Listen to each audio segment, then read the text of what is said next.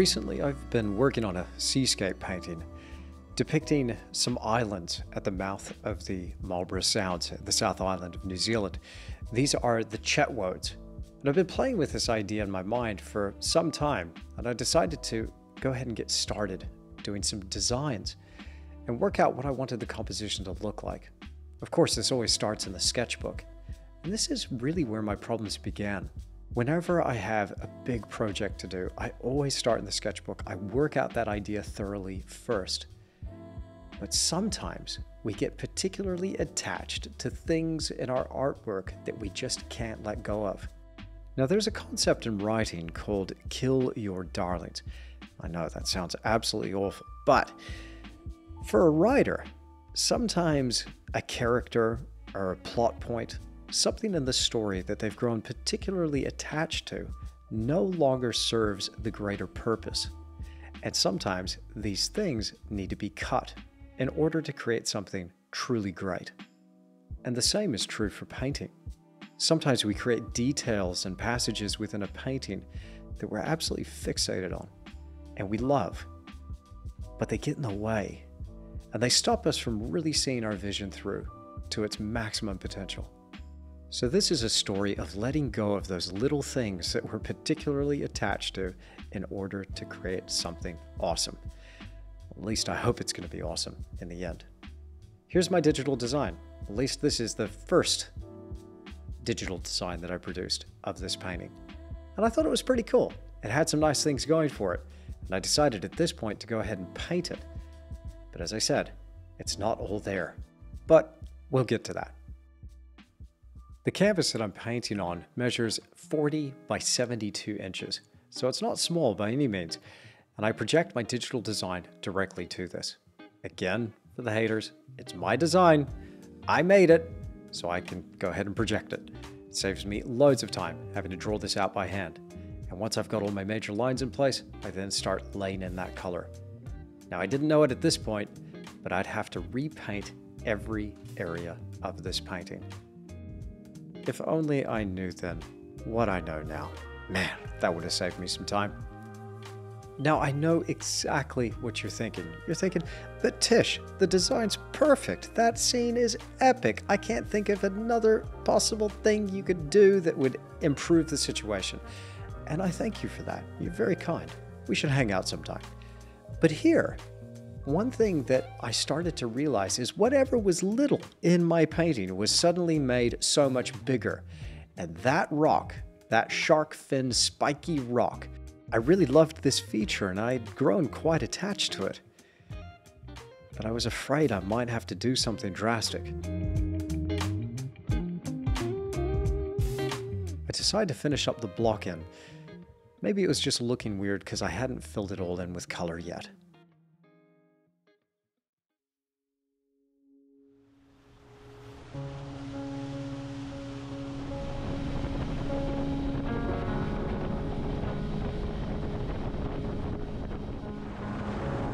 I decided to revisit my inspiration while I waited for the paint to dry, hoping that I'd come up with some sort of solution. Shout out to my young friend Daniel. We took his boat out to the mouth of the Marlborough Sounds to visit the Chetwodes once more. The conditions were perfect.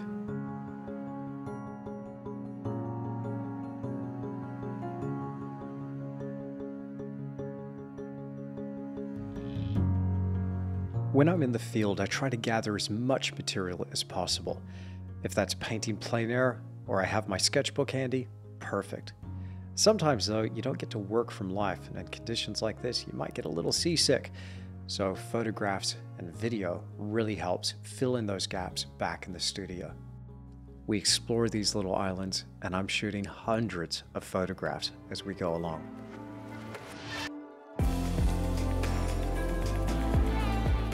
I'm blessed to live so close to this area. And I can definitely see potential for at least another 20 paintings. Don't be fooled by the calm conditions. It gets pretty wild out here.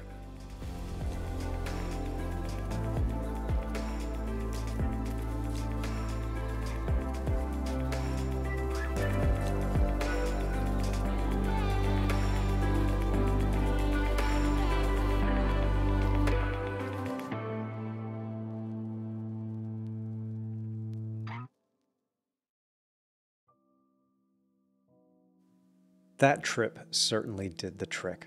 I came back with a head full of fresh new ideas, and I realized where I was going wrong. It was going to require a creative solution.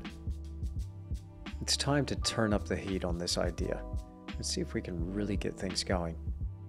This is oil based modeling clay, and here I thought I'm going to make a rock. Now, this rock's pretty cool, but I want to make one.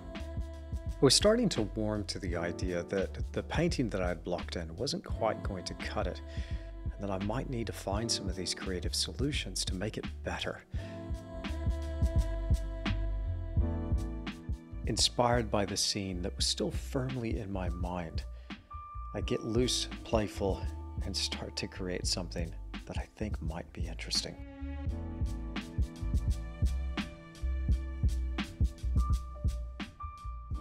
As I sculpt my rock, I'm thinking about the facets, turns, cracks, grooves, and crevices, all these interesting things that might catch the light.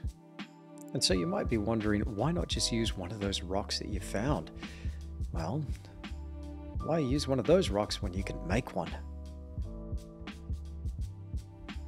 I start to think about the form of the rock that I would like to have in my painting, how the light's going to hit it. I want something with character, but also something that looks quite natural. A perfect element in that landscape that's not going to draw the eye too much, but at the same time, it'll just complete the composition. I burnish the rock with a lighter. This just melts the top surface of modeling clay, giving a nice sheen. I didn't even bother to sculpt the back side. I had settled on this side, and I thought, this is it. This is what the painting needs. That darling rock that I was so attached to was about to be swapped out for this one. I'm much happier with this. But before I go back to the painting, I need to hit that drawing board or the Wacom tablet one more time.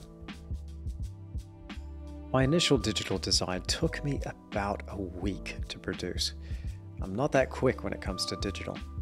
Little did I know, what I thought was going to be just a couple of days of shuffling things around took another eight days. Once I'd gotten used to the fact that the entire idea had to change, I started to find that flow state, and the hours just melted away. By letting go of my initial idea, by turning loose of my darlings, by killing them, so to speak, I ended up discovering new things and taking this image into new directions that I wouldn't have previously considered. Now, I guess it's a matter of opinion. Maybe you liked the previous design, but I think I'm on the right track with this one. Besides, in this new design, there's a beach. That's pretty cool.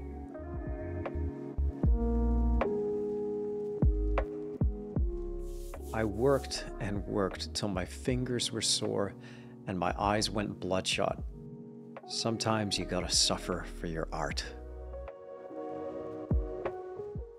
Now, one thing the digital process allows me to achieve with my paintings is to create a bit more of a sense of realism and detail. I can put so much into these designs. There's no photography added here. It's all drawn on the Wacom tablet, one layer at a time. But when it comes to creating realistic water, sometimes using that layer feature really helps not only get that transparency, but also that moving reflection over the top. This took ages, but I think it ended up looking pretty cool. Now, I just have to paint it. I am so much happier with this. It feels a lot easier on the eye, and it even has more depth. This communicates the things that I really want to say with this painting feeling fresh and excited about this new design and new direction. I waste no time in getting this onto the canvas and I'm just going to paint right over the top of whatever I had done previously. Now, if I'm honest, I was cringing a little bit. The thought of all those hours, weeks in fact, of abortive work. But then, would I have come up with this idea had it not been for all of that effort?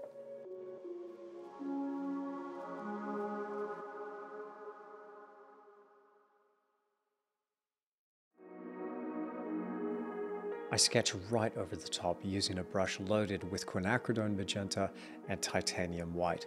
I want these lines to really stand out so I can see where to place the major elements in the composition. That background's going to be a little bit distracting, but here we're going to just approach it the same way I did in the beginning, starting with whatever's furthest away and working my way forward.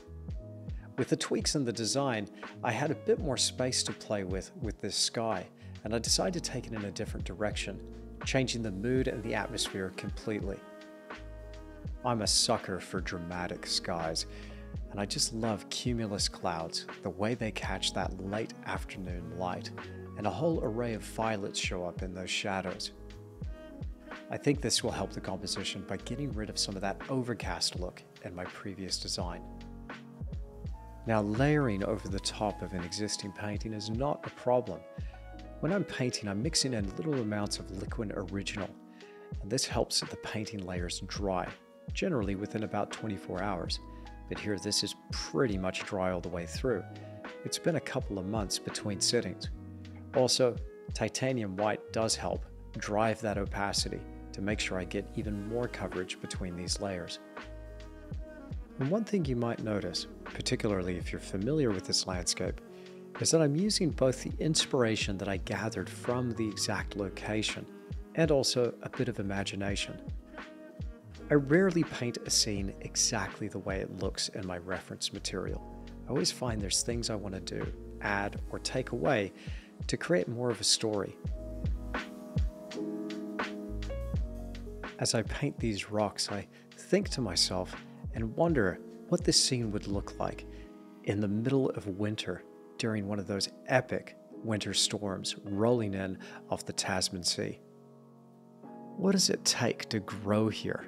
If you're a little tree, what kind of root system must you have to cling to these rocks without falling off into the water below? And what started off as a little clay model, a little maquette, I think has ended up being a pretty cool feature in this painting.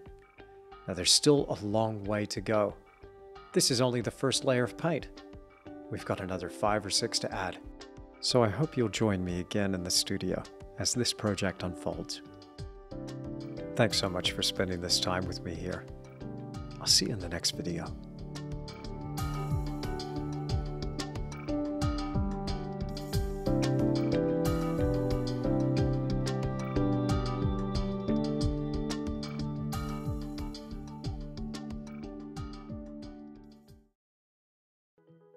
Ask you something. Do your paintings fall short of your vision? Are you feeling overwhelmed with the abundance of information out there that you're just not sure where to start? Or maybe you're just somebody who wants to level up and unlock some cool new techniques and take your painting up a notch. Well, I've got just the thing for you. It's called Tisch Academy.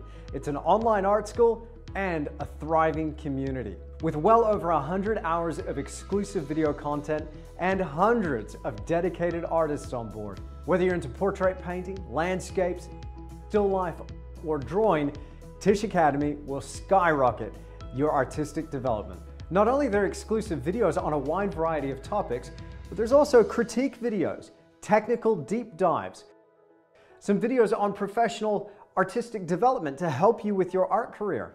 But there's also royalty-free reference material and just about every week, I go live from the studio with my Academy tier members. But don't just take my word for it. Here's some Tisch Academy members who have loved their experience so far. This is how I used to paint before.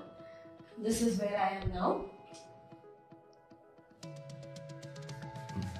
Thanks a lot, Andrew. You have been a great influence on me.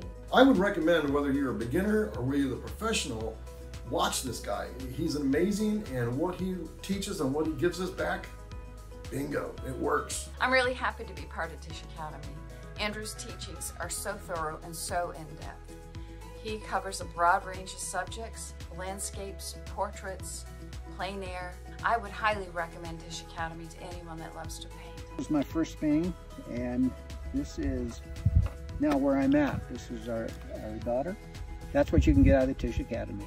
Now to get in, it's super simple. All you've got to do is click that link in the description down below, set up your profile, and select your tier, whether it's studio tier at $5 per month or the academy tier at $18 per month. There's a lot of information out there and it can be really overwhelming and really daunting. And if you're stuck in the studio and not really sure how to progress, this could be the thing that you're looking for. As a member of Tisch Academy, you'll be armed with a methodology and you'll know just what to do next time you want to tackle that dream project. And not to mention, you'll be able to interact with hundreds of members from around the world who are just as passionate about art as you are.